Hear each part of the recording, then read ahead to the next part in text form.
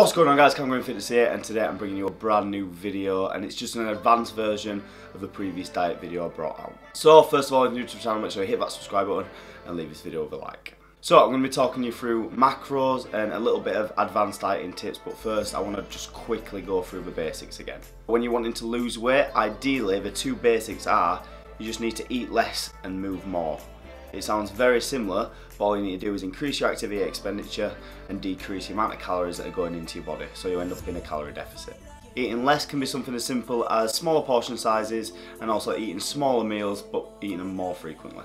And in terms of moving more, that's just increasing your activity expenditure on a day-to-day -day basis. So this could be targets such as maybe attend the gym a couple of times a week or even 10,000 steps per day, which is a very popular one I use with my clients. But now the advanced part of dieting. And I've got to give you a warning, this part does involve a little bit of maths. So first of all, you need to go onto a website called Calorie Calculator. That way, as soon as you input your height, your age, how active you are, you can find out your maintenance calories. Then if your aim is to lose weight, then ideally you just need to subtract 200 or maybe 300 away from that total. This will then put you in a deficit. And in terms of being on a deficit, it is literally a scientific equation. So if you remain in that deficit and calculate your calories right from what you're eating, then you will 100% lose weight. So now onto the fun part, which is actually calculating your macros. So first of all, to understand your macros, you need to know what they are. So your macros are your macronutrients. So they consist of your proteins, your fats and your carbs. And what's very important is we also need to know the value of them.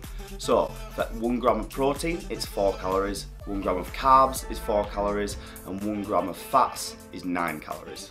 So this is very important when calculating your macros later on. When we're losing weight, we need to aim to maintain as much muscle as possible. So this ensures that we're solely burning fat and not having any muscle wastage. So to maintain muscle, in terms of research, it said you need 2 grams of protein per 1 kilo of body weight. So if I'm body weight of 70 kilos, ideally I need 140 grams of protein just to maintain muscle. Well, this is where your maths comes in. So if I'm having 140 grams of protein, altogether that totals 560 calories because then you just times the 140 by 4. So that means out of the original calories that we found, once we've subtracted 200 or 300 to put us in the deficit, we then need to subtract the total calories worked out in protein. So the remaining calories are very much adjustable in terms of they need to then be split into your carbs and fats.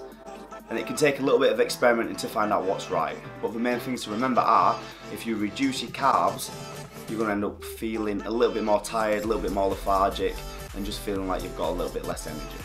And in terms of experimenting, some people's bodies can handle fats better than can handle carbs. So it'll take a little bit of experimenting to see what suits your body the best.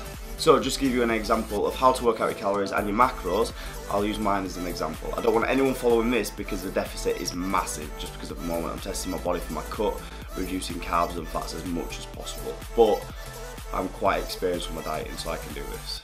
So a little warning, don't follow my macros. I'm in a massive deficit of about 800 calories. Okay, so so far, every day I'm hitting about 1,200 calories. And this consists of protein being 150 gram, carbs 60 gram, and fats 40 gram. So to work this out, 150 gram, which is my protein, times by 4 is 600. Okay, so that's 600 taken away from my original 1200 calories leaves me 600 remaining, okay? So I've got to make out the carbs and fats to equal that 600. So what I've worked that out as is carbs being 60 gram times by 4 is 240 and then that leaves 360 calories remaining. So then I need to divide that by 9 which gives me 40 and that's my fats. So like I said, it is a little bit fiddly playing about and it does take a little bit of maths, but once you've got it, you can experiment, add maybe 10 gram onto your carb, take away 10 gram from your fat. Just keep playing about to see what works for you and what provides the best results. I'd probably say monitor your weight weekly and then you can make small adjustments throughout the week if you need to. But the whole thing about dieting is it's very specific to your body. So I could recommend you macros and you may not react to it just because your body is so unique. So guys, that's the end of the video. I hope this has helped a little bit in terms of your macro explanation because I know quite a few of you have requested it previously. So I hope you've enjoyed the video. And if you're new to the channel, make sure you hit that subscribe button, leave this video with a like, and I'll see you next time. Peace!